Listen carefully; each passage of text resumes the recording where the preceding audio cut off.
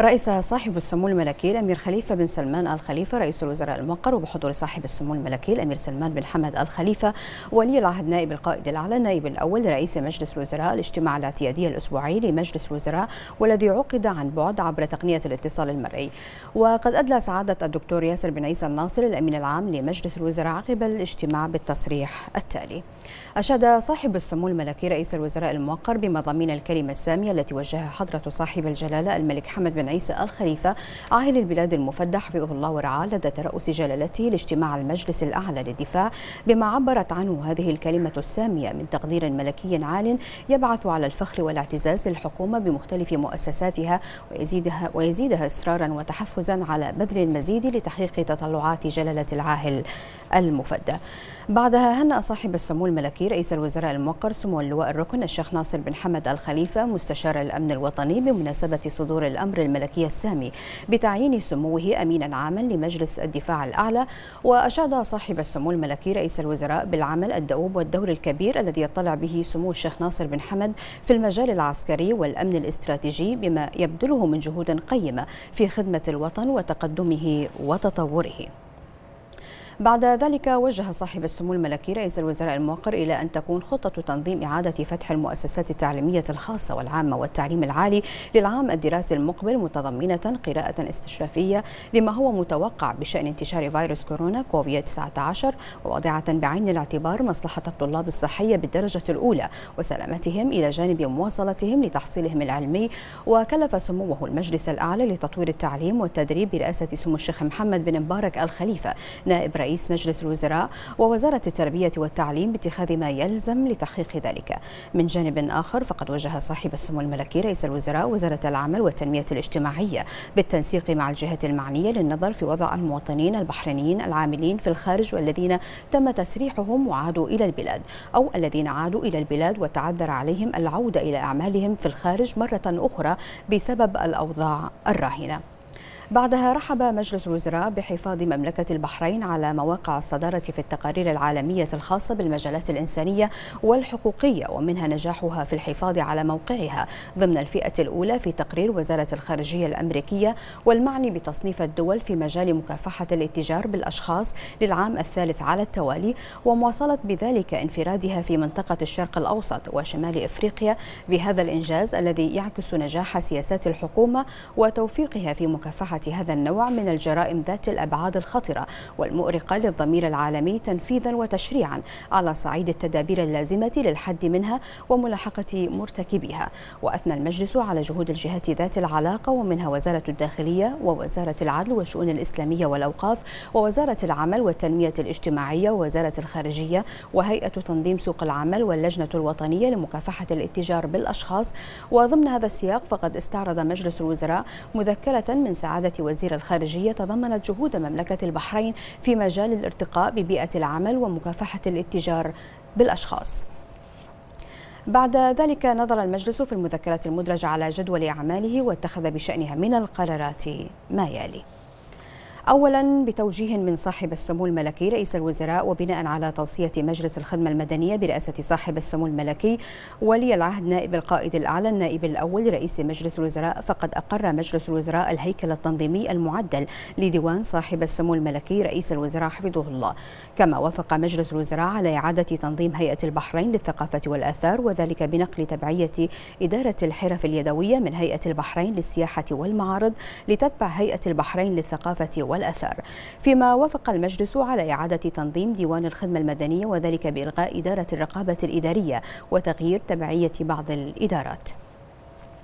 ثانيا بناء على توصية اللجنة التنسيقية برئاسة صاحب السمو الملكي ولي العهد نائب القائد الأعلى النائب الأول لرئيس مجلس الوزراء فقد وافق مجلس الوزراء على قرار بتخفيض بعض الرسوم المفروضة لدى هيئة تنظيم سوق العمل لإصدار وتجديد جميع فئات تصاريح العمل التي تصدر لمدة سنة واحدة وجميع الرسوم الشهرية المتعلقة بها والتي تحصلها الهيئة بنسبة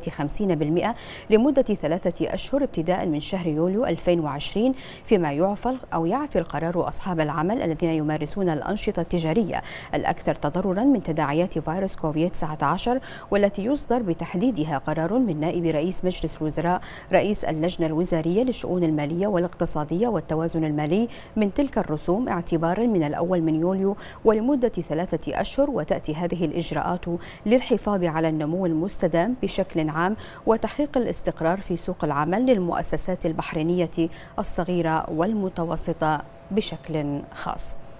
ثالثا وافق مجلس الوزراء على التقرير السنوي والبيانات المالية المدققة لحساب احتياطي الأجيال القادمة للسنة المالية المنتهية في الحادي والثلاثين من ديسمبر 2019 تمهيدا لرفعه إلى مجلس النواب. واستعرض المجلس التقرير والبيانات المالية لحساب احتياطي الأجيال القادمة التي لم تسفر أعمال الرقابة عليه عن أي ملاحظات جوهرية. وأظهر التقرير الذي عرضه معالي وزير المالية والاقتصاد الوطني أن إجمالي أصول صندوق الاحتياطي قد حقق عوائد بزيادة بنسبة 17.3% عن العام الماضي وبلغت أصول الصندوق 918 مليون دولار أمريكي. فيما بلغت العوائد الاستثمارية ما قيمته 79 مليون دولار أمريكي بنسبة 10% سنويا تقريبا مما يعكس كفاءة وفعالية السياسة الاستثمارية والتي يدار بها الصندوق المذكور.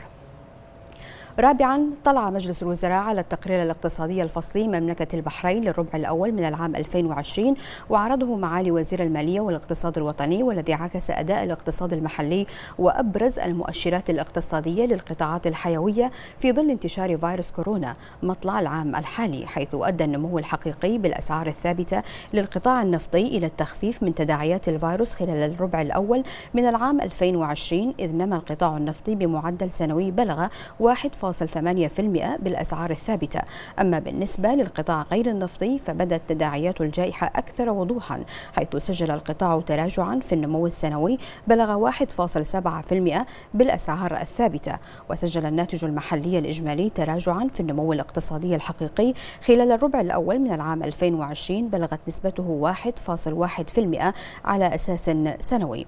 وتفاوت أداء القطاعات غير النفطية خلال الأشهر الثلاث الأولى من عام 2020 2020 حيث حقق قطاع الصناعات التحويلية نموا حقيقيا إيجابيا بلغ 4.8% تلاه نمو قطاع الخدمات الاجتماعية والشخصية بنسبة بلغت 1.3% ثم قطاع البناء والتشييد الذي شهد نموا بنسبة 0.3%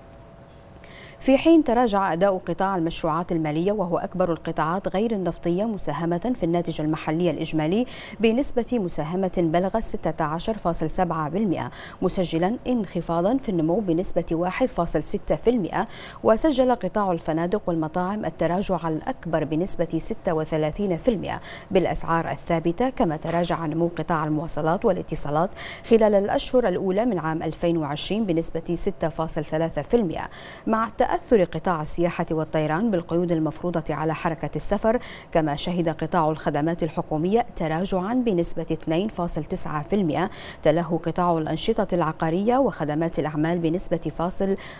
4% وقطاع التجارة بنسبة 0.1% خامسا وافق مجلس الوزراء على البيان المشترك بين وزارة الداخلية بمملكة البحرين ووزارة الأمن الداخلي الأمريكي وإدارة الجمارك وحماية الحدود الأمريكية من أجل تطوير مبادرة المسافر الدولي المستعجل الذي عرضه معالي وزير الداخلية وأوصت بالموافقة عليه اللجنة الوزارية للشؤون القانونية والتشريعية. سادسا وافق مجلس الوزراء على مذكرة تعاون بين وزارة الداخلية بمملكة البحرين وإدارة الجمارك وحماية الحدود التابعة لوزارة الأمن الداخلية الأمريكية والتي عرضها معالي وزير الداخلية وتتعلق بالتعاون بين الجانبين في تبادل المعلومات والبيانات الخاصة بالمسافرين.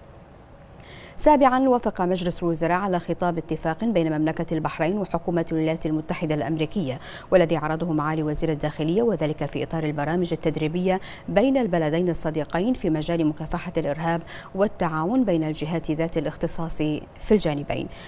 ثامنا وافق مجلس الوزراء على قرار يعدل أحكام اللائحة النموذجية للنظام الأساسي للأندية الخاضعة لإشراف وزارة شؤون الشباب والرياضة ويتيح التعديل لوزارة شؤون الشباب والرياضة تزكية من يتقدم لطلب العضوية إلى إدارة النادي ووضع نظام تجديد العضوية وفق ضوابط وشروط والسماح بتوجيه الدعوة وحضور اجتماع الجمعية العمومية بأي وسيلة إلكترونية معتمدة. ووضع أرشيف إلكتروني وإلزام وجود العقود لجميع من يستلم مبالغ من الأندية.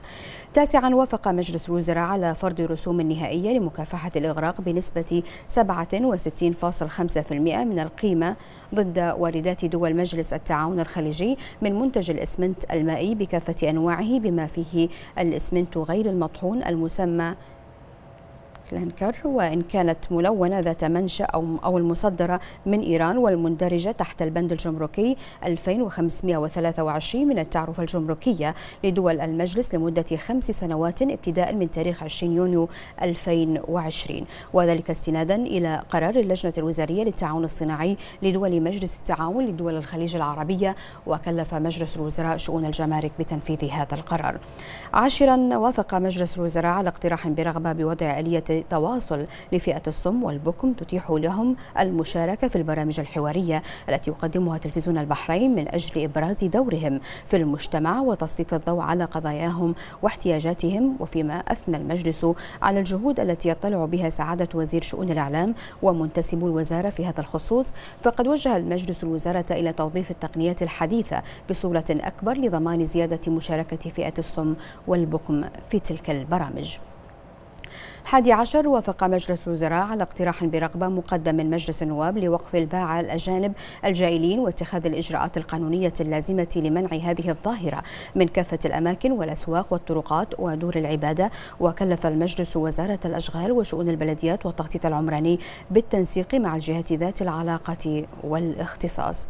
الثاني عشر وافق مجلس الوزراء على رد الحكومة على اقتراح برغبة يتعلق باستهلاك الكهرباء للمواطن في مسكنه الأول. وفي بند التقارير الوزارية أخذ المجلس علما من خلال سعادة وزير العمل والتنمية الاجتماعية بنتائج المشاركة في الاجتماع الطارئ لوزراء الشؤون الاجتماعية العرب حول التعامل مع تبعات جائحة كوفيد 19 عبر الاتصال المرئي كما أخذ المجلس علما من خلال سعادة وزير شؤون الشباب والرياضة حول مشروع النظام الإلكتروني إعانات الخاص بمراجعة ميزانيات الأندية الوطنية من قبل وزارة شؤون الشباب والرياضة.